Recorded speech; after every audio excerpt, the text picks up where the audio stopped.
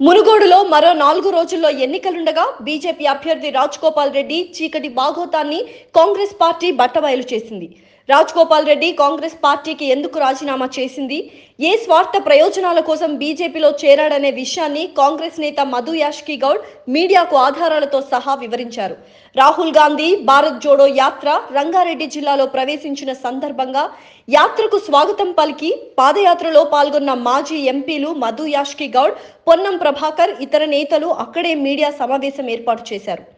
రాజ్ గోపాల్ రెడ్డి బొగ్గు కాంట్రాక్ట్ గుట్టును బహిర్గతం చేశారు.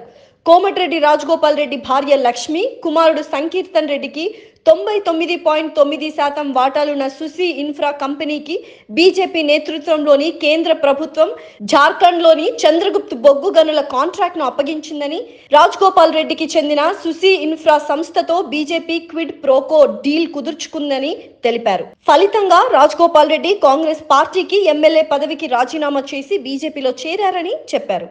కాంట్రాక్ట్ ప్రాజెక్టు అంచనా వ్యయం మూడు వేల నాలుగు వందల ముప్పై ఏడు కోట్లు కాగా ప్రాజెక్టు విలువ పద్దెనిమిది వేల రెండు వందల అరవై నాలుగు కోట్లు అని ఈ ప్రాజెక్టులో యాభై రెండు శాతం ఆదాయం వస్తుందని వెల్లడించారు. దీనికి సంబంధించిన ఆధారాలను మీడియాకు చూపించారు.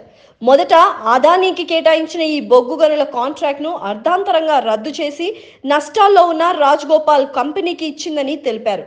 ఈ కాంట్రాక్ట్ కోసం రాజగోపాల్ రెడ్డి రెండు వేల ఇరవై ఒకటి నుంచి బీజేపీతో మొదలుపెట్టిన సంప్రదింపుల ప్రక్రియ రెండు వేల ఇరవై రెండు ఆగస్టుతో ముగిసిందని చెప్పారు.